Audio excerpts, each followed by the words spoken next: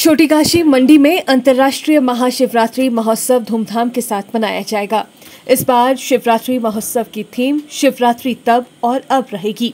वहीं अंतर्राष्ट्रीय शिवरात्रि मेला मंडी 2023 में स्मारिका के प्रकाशन के लिए उपमंडल अधिकारी मंडी एवं स्मारिका उप समिति की अध्यक्षा रितिका जिंदल की अध्यक्षता में बैठक का आयोजन किया गया।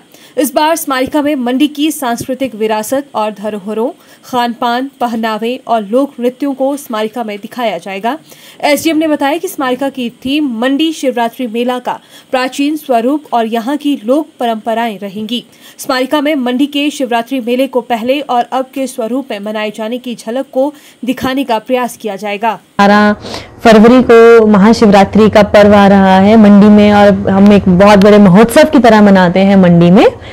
तो इसके उपलक्ष्य में आप सभी को विदित होगा कि हम समारिका भी होती है एक शिवरात्रि की, जो एक तरह से जर्नल है, एक तरह से मैगजीन है, जो हर साल जो प्रशासन के द्वारा छपती है। इस बार हम फोकस कर रहे हैं, काफ़ी आज उसकी मीटिंग हुई। बहुत सारा विचार विमर्श हुआ है हमारा सभी स्टेक होल्डर्स के साथ। तो हमने ये सोचा है कि हम उसको as a e magazine launch करेंगे ताकि वो जन जन तक पहुँच पाए। और इस बार जो हम थीम रख रहे हैं, वो है शिवरात्रि पे फोकस और मंडी। यानी ट्रेडिशनल मंडी के ट्रेडिशंस पे हमारा फोकस है और शिवरात्रि तब और अब इस प्रकार हमारा फोकस रहेगा।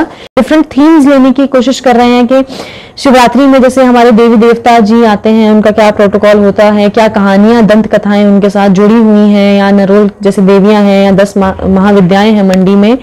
तो मंडी के एक ट्रेडिशन को दिखाते हुए, जैसा हमने छोटी काशी महोत्सव कराया फ़ूड फेस्टिवल कराया तो क्या पुरानी जो खाद्य पदार्थ हैं, क्या चीज़ें हैं, क्या हर्ब्स मिलती हैं मंडी में, उस चीज़ को ध्यान में रखते हुए प्लस जो नृत्य हैं या जो संगीत हैं, जो मंडी का पूरा आर्ट कल्चर पेंटिंग मंडी कलम से लेके, जो डिफरेंट मंडी का पुरानी चीज़ों पे फोकस करते हुए ये हमारा इस बार की समारिका रहेगी।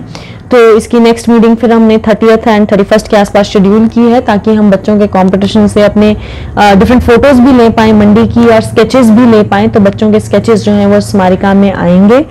तो इस बार कुछ हम डिफरेंट करने की कोशिश कर रहे हैं ताकि ये सिर्फ़ एक प्रशासनिक मैगजीन ना होके ये मंडी की जनता की खुद की मैगजीन बने और लोगों को इसमें एक बिलोंगिंगनेस की फीलिंग आए कि उन्होंने भी कुछ कंट्रीब्यूट किया है। तो हमारी कोशिश यही है कि हम मंडी वासियों से और जुड़ के जो है उनसे आर्टिकल्स लें।